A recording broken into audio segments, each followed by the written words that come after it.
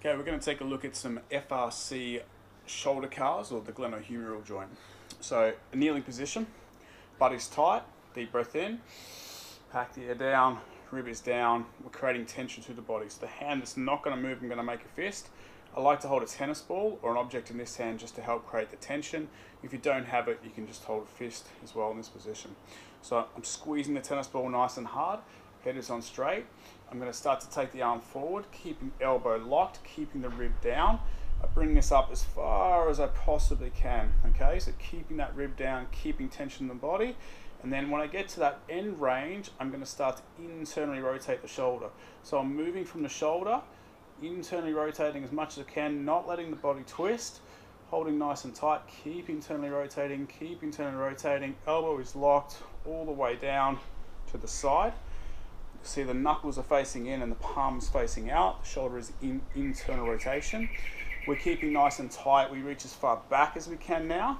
When we hit that wall, we're going to start to open up. So we're going to start to externally rotate the shoulder, keeping the arm behind, keeping tension in the body. Nice big circle. Keep rotating, keep rotating. All the way back up, back to the top position. We'll just come down to roughly shoulder height again, and we'll do another rep. So again, keeping tension in the ball, lifting up as far back as we can without lifting the rib up. The glutes are still on. Then we're going to start to internally rotate the shoulder, resist the urge to twist the body. Keep reaching back, keep reaching back, keep rotating through the shoulder, all the way down. So when we get to the bottom position, again, knuckles are facing me and the palm is facing out. Bum tight, reach back as far as you can. Start to externally rotate from the shoulder, squeezing the tennis ball nice and hard, while making the fist nice and hard. Bring it back up, and then back down to this position. I'll just show you one from the side. So same again, everything's locked, glutes are tight, rib is down, nice flat back here, squeezing the tennis ball, moving only from the shoulder, we come up as far as we possibly can, keep the rib down, rotating through the shoulder, resisting the urge to twist the torso. Keep rotating, keep rotating, keep rotating. All the way down. Knuckles facing me, palm is out.